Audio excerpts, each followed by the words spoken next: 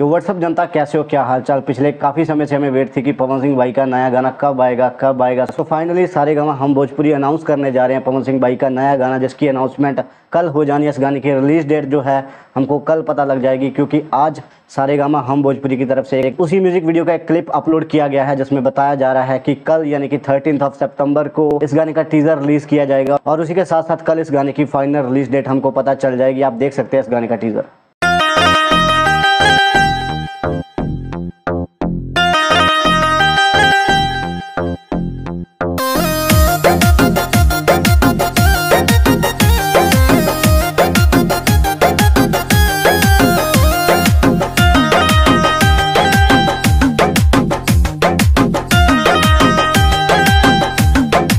और इस video clip को देखकर काफ़ी हद तक मुझे ऐसी रही है कि गाना काफ़ी बड़े लेवल पे शूट हुआ है और सुनने में आया है इस गाने की म्यूज़िक वीडियो पे।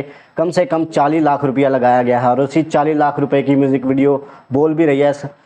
11 सेकंड के क्लिप में हम जज कर सकते हैं कि भाई कितना बड़ा सेटअप किया गया इस म्यूज़िक वीडियो को शूट करने का। उसी के साथ साथ कल इसका ट्रेलर जैसे ड्रॉप होगा, मैं रिएक्शन वीडियो तो लेके आऊँगा ही। बाकी आप कमेंट ड्रॉप करो कि आपको इस गाने की कितनी वेट है। मिलते हैं।